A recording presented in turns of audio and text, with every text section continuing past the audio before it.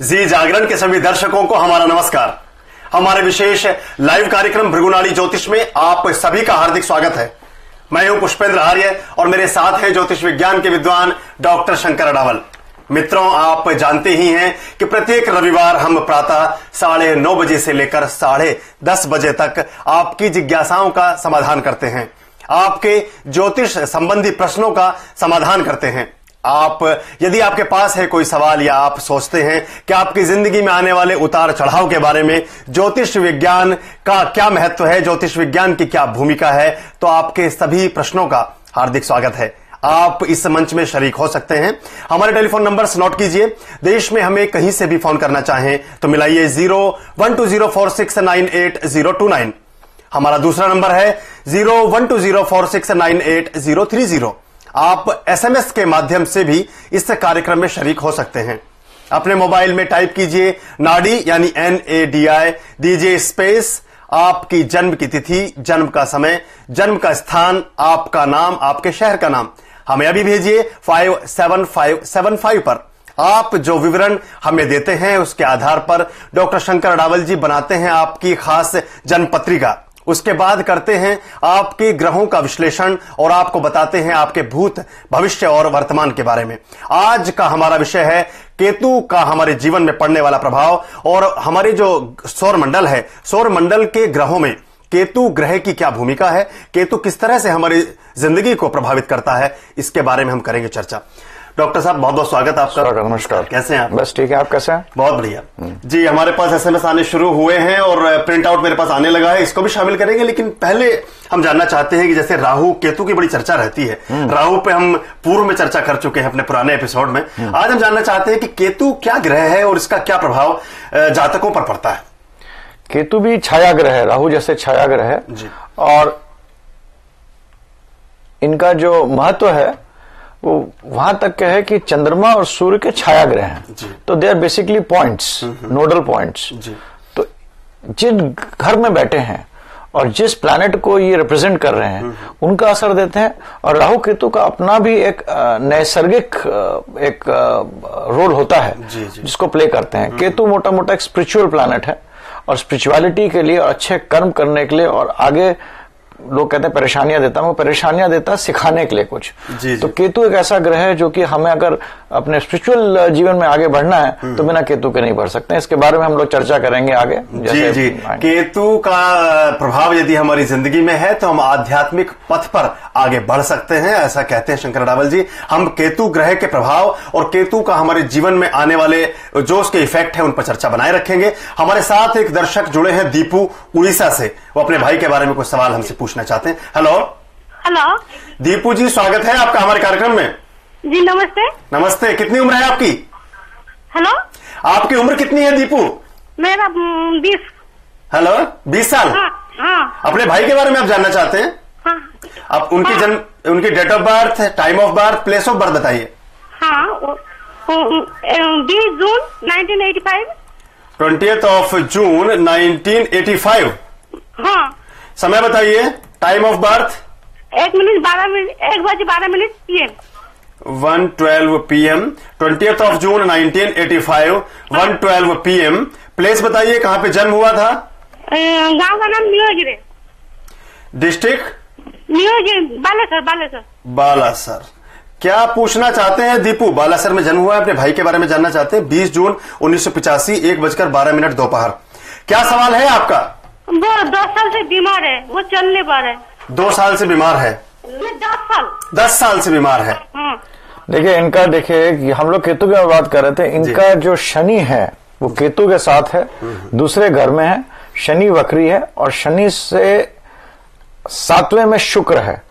तो और गुरु पाँचवें घर में तो इनकी इनकी दिमागी स्थिति अपने आप में सारी चीज़ों में नियंत्रण में प्रॉब्लम होगा अपने आप को ये संभाल नहीं पाते होंगे। जी। और मतलब नर्वस सिस्टम अपने आप को नियंत्रण करने में अपने पूरे उसको काफ़ी परेशानी है इनको। इस दस साल से वो बहुत बीमार हैं बहुत बीमार नहीं मतलब ऐसी बीमारी है जिससे कि मतलब अपना जैसे सूझबूझ आगे बढ़ना चलना coordination of the nervous system में इनका प्रॉब्लम रहेगा। और अभी जो समय है वो नवंबर तक तो खराब है। और नवंबर के बाद 2010 जून के बाद इनकी स्थिति सुधरेगी परंतु इनकी आयु जो है वो लंबी है। जी।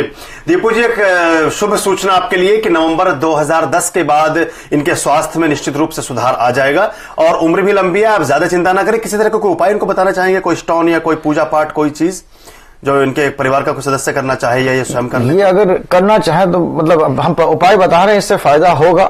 ये है कि इनके इनको हर शनिवार को नौ किलो नारियल जी। अगर इकतालीस शनिवार तक करते रहें नौ किलो शान इकतालीस शनिवार तक।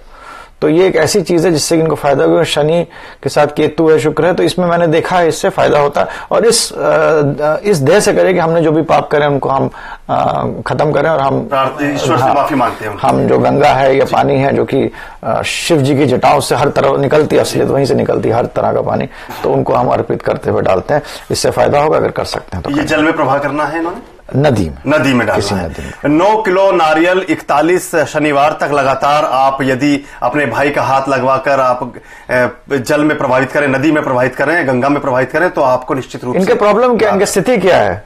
हेलो आप लाइन पर हैं हमारे साथ? नहीं वो उनसे कनेक्ट डिस्कनेक्ट हो गया। जी हमारी बहुत बहुत शुभकामनाएँ कि आपके भाई ठीक ही हो जाए जल्दी ही। मित्रों यदि आप की शिकायतें हमारे साथ आती रहती हैं हमारे पास आती रहती है कि आपके प्रश्न आपके फ़ोन हम शामिल नहीं कर पाते आप जानते ही हैं कि देश भर से हमारे पास टेलीफोन कॉल्स आती हैं। ऐसे में एक अच्छा विकल्प यह है कि आप एसएमएस के माध्यम से इस कार्यक्रम में शरीक हो सकते हैं। आप अपने मोबाइल में टाइप कीजिए नाड़ी एन ए डी आई दीजिए स्पेस जन्म की तिथि जन्म का समय जन्म का स्थान लिखिए अपना नाम अपना प्रश्न लिखिए हमें अभी भेजिए five seven five seven five पर। एक एसएमएस हमें मिला है डॉक्टर साहब। इनका नाम इन्होंने ये भेजा है इन्होंने हमें चंबा हिमाचल प्रदेश से नाम इन्होंने नहीं लिखा है। जन्म तिथि है ट्वेंटी फोर्थ ऑफ़ सेप्टेम्बर 1983 24 सितंबर उन्नीस मोबाइल का लास्ट डिजिट है थ्री ज़ीरो सेवन एट। हम अपने दर्शकों से एक निवेदन करना चाहते हैं कि आप अपने सवालों के साथ यदि अपने नाम भी भेजें तो बहुत अच्छा रहता है। इनका जन्म तिथि है 24 सितंबर उन्नीस सौ तिरासी। समय है तीन बजकर अट्ठारह मिनट मध्य रात्रि zero three one eight A M Chamba में जन्म हुआ है। थ्री वन एट मतलब सुबह तीन बजे? हाँ सुबह सुबह तीन बजे। तीन बजकर अठारह मिनट तीन अठारह ए एम चंबा में जन्म हुआ है हिमाचल प्रदेश। ये जानना चाहते हैं कि इनका इनकी शादी कब होगी जॉब कैसा रहेगा और शिक्षा और भविष्य के बारे में आपसे मार्गदर्शन चाहते हैं। चंबा से हमें एसएमएस भेजा है एचपी से।